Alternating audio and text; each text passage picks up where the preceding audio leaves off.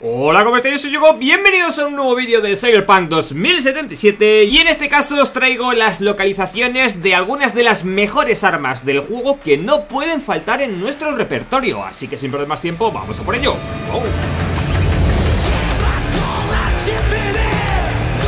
Bueno gente, este vídeo lo quiero hacer un poco para complementar ese que ya subí de las garras mantis. Así que en este caso vamos a buscar armas para todos los gustos y todos los estilos del juego. Se tratan tanto de un nuevo arma de Cyberwar legendaria como de un arma principal legendaria así como de una pistola. Evidentemente no son las únicas armas que podemos desbloquear en el juego. Es más, hay montones de armas buenísimas que a medida que vamos completando misiones principales, secundarias e incluso encargos iremos desbloqueando. Pero lo curioso de estas armas es que no necesitamos hacer de ninguna misión, gente. Simplemente se trata de, como vimos en el vídeo de las garras mantis Viajar a las localizaciones y recoger las armas y podremos empezar a utilizarlas. Que por cierto, aprovecho para decir que si alguno no conoce el vídeo que estoy comentando de las garras mantis Es una de mis armas favoritas del juego, legendaria, muy recomendable Lo podéis encontrar también en el canal. Y una vez hecha ya la breve introducción, vamos a por esas localizaciones. Vale gente, para la primera de las armas, en el día de hoy tendremos que ir al distrito de Watson, ¿vale? Que incluso los más novatos que llevéis poquito tiempo de juego conoceréis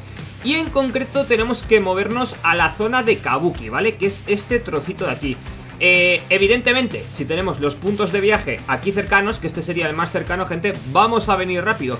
Si no, una forma bastante sencilla de llegar, ¿vale? Os dejo el mapa para que lo veáis bastante bien. Es en esta zona que está llena de las autopistas que pasan por encima del agua. Eh, la forma más rápida de, de llegar desde mi punto de vista sería marcar este punto médico, ¿de acuerdo? Marcaríamos este punto médico, que si os dais cuenta está justo en el centro de Kabuki. Y cuando llegaríamos se vería tal que así, ¿vale?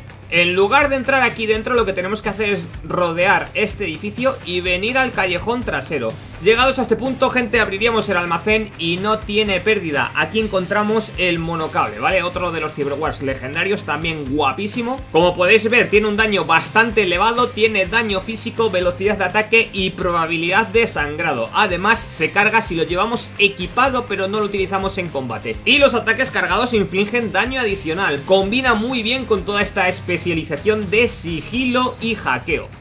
Para la siguiente arma legendaria, gente, tendremos que venir al distrito de Santo Domingo, ¿vale? Aquí abajo. Y en concreto estaríamos entre la limitación entre Arroyo y Rancho Coronado, ¿vale?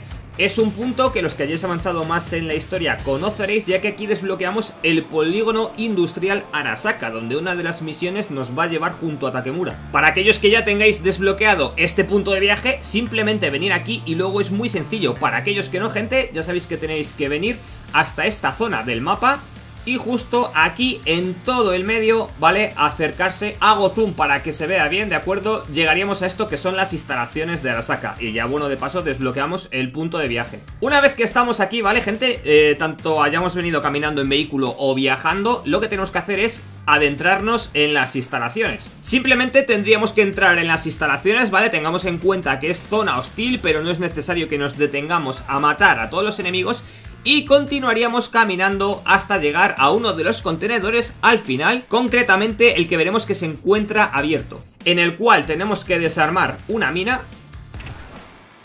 Hostia puta, os la podéis comer con el pecho, como he dicho yo también, sin necesidad de desarmarla. Bueno, eh, tres puntos requiere, ¿vale? La puede desarmar todo el mundo, ya que es la estadística inicial del personaje. Todo el que no sea tan patoso como yo, por favor, no lo piséis con el pie. Y justo aquí al doblar a mano izquierda tenemos el prototipo Singen Mark V, ¿vale? Esta zona la descubrí porque justo estuve aquí en el directo de ayer. Y la verdad es que se trata de un arma inteligente y aunque pueda parecer que tiene muy poco DPS, se hace muy sencillo matar con ella, ya que tiene el apuntar automático y cuatro huecos para modificaciones, gente. Muy muy útil. Además, muy interesante, como dice la descripción, el aspecto de que las balas pueden perseguir hasta tres objetivos, por lo tanto nos podemos cargar a enemigos múltiples al mismo tiempo. Para la última de las armas del vídeo de hoy, gente, si os dais cuenta, pues queda bastante cerca de donde acabamos de estar. Esto sería el distrito Santo Domingo. Y justo estamos en la parte fronteriza con el distrito de Haywood, ¿vale? Pero dentro del distrito de Haywood. Una forma muy sencilla de llegar aquí, pues sobre todo para aquellos que no tengáis el punto de viaje, porque con el punto del viaje, como os dais cuenta, estamos al lado, sería marcar este curro secundario de aquí, ¿vale? Marcaríamos este curro secundario y nos va a llevar directamente al punto exacto donde tenemos que recoger el último arma. Si os dais cuenta, venimos por la calle principal hasta llegados a este punto donde saltaríamos y aquí encontramos el cadáver, ¿vale? Del curro y el arma justo al lado. Se trata de un arma inteligente, efectivamente, una pistola que tiene una IA incorporada y deciros que no os quiero hacer spoiler porque los diálogos de verdad es que no tienen desperdicio, gente, se ha convertido en una de mis armas favoritas del juego. Estas serían todas las armas del día de hoy, gente, si os dais cuenta para todos los tipos de juego, complementan muy bien a las garras mantis ya que se trataba de un arma melee para ir a saco, en este caso tenemos el monocable que también es un arma de distancias cortas, pero para nada de ir a saco, ya que cuanto más spamemos sus ataques, menos efectiva va a ser, así que muy interesante para aquellos que queréis perfeccionar las habilidades de sigilo. Y luego tenemos dos armas de media y larga distancia, en este caso armas inteligentes, muy buenas con ese localizar enemigos de forma automática. Y Skippy, gente, no voy a decir nada, ¿vale? Pero por favor, utilizadla y, ya veréis, es que no tiene desperdicio este arma. Espero como siempre que os haya gustado el vídeo, si es así no olvidéis dejar vuestro like, suscribiros al canal para no perderos nada relacionado con Cyberpunk 2077, si todavía no estáis suscritos, gente. Y por supuesto, como siempre, espero vuestros comentarios aquí abajo en la cajita cuál ha sido vuestra favorita de estas armas, si habéis tenido algún problema para conseguirlas o por el contrario las habéis localizado fácilmente, así como cualquier otra petición y sugerencia que queréis dejarme. Ya sabéis que podéis seguirme a través de mi Twitter, arroba con 3 y así como en mis directos de Twitch, Yugo con 3 y barra baja TV. Dicho todo esto, me despido, pero tan solo hasta la próxima. Adiós.